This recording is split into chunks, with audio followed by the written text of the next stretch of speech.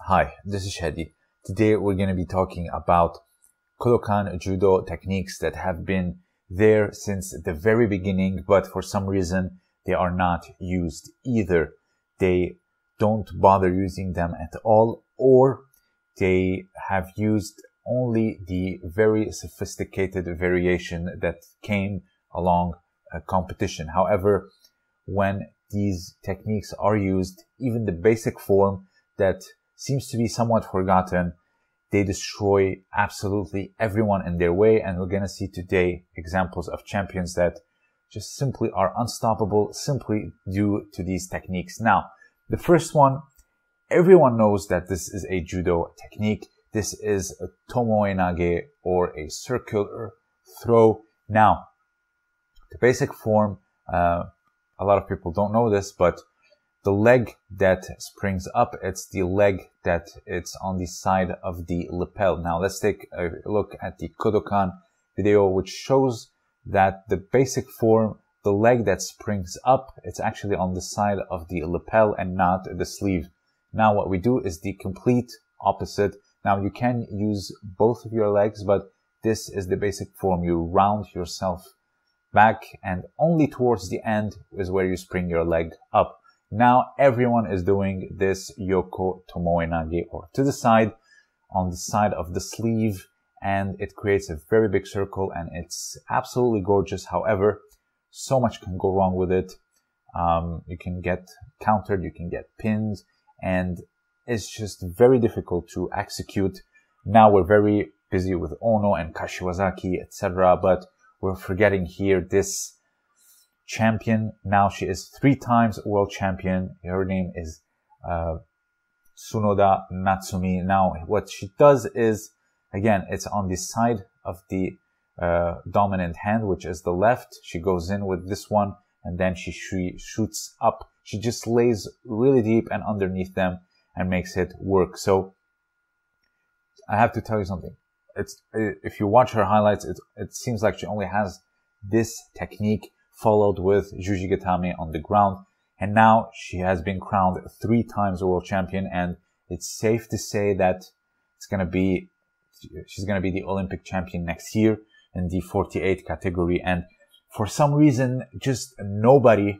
Uh, till now with her world title reign cannot stop this technique. So what she does is attack with the leading leg, which is her left leg. And then if she needs assistance, she follows it up with the other one. And still nobody can stop her. Now the next one is going to be, I would say the O Soto family. So you have first one here, the O Soto Otoshi. You see there's a big uh, stomp uh, behind uh, Uke's leg. And then with your hands, you overwhelm them.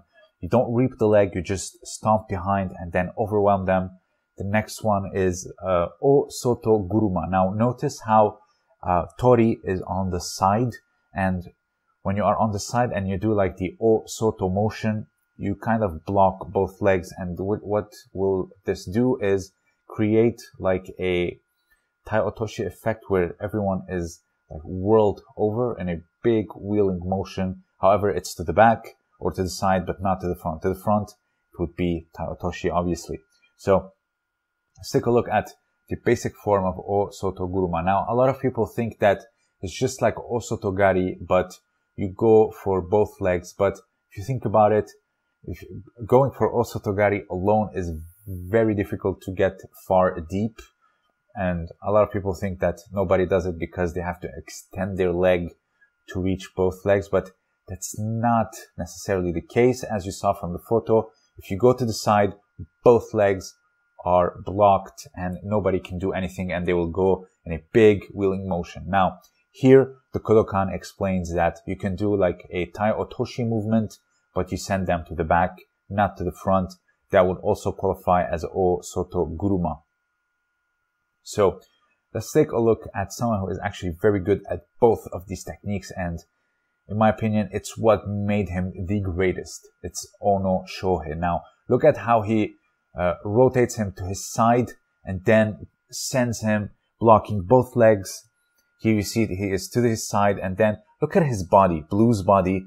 He goes in a big wheeling motion. This is 100% O Soto Guruma. When you rotate them to their side and then you reap both legs or you block both legs, that's what makes it O Soto Guruma. This one here is the same. Notice how Ono changes direction. Now the uh, French or the one in white is facing the scoreboard. He doesn't go to the front like Tai Otoshi. He goes to his side and Ono changes direction. This is also Toguruma, much like the old photo. This next one here, you see both legs are cut. Uh, he didn't have to reach far like you saw in the basic demonstration. All he has to do is turn to his side and both legs are cut and blocked. That will make it O Soto Guruma. So again, this is part of what made Ono so unstoppable is this devastating technique. Let's take a look at one here. He goes again to the side. Now here he stomps down with O Soto Otoshi. Uh, it's not, it's not Osotogari per se. Now watch here how he stomps and puts all his leg, all his weight on that leg he only lifts it up in order to go forward and not so much to reap the leg or maybe towards the finish. It's an Osotogari, but the bulk of the movement came from the Osoto Otoshi stomp. This one here is a very famous example. Everyone knows this one. Look at that deep stomp.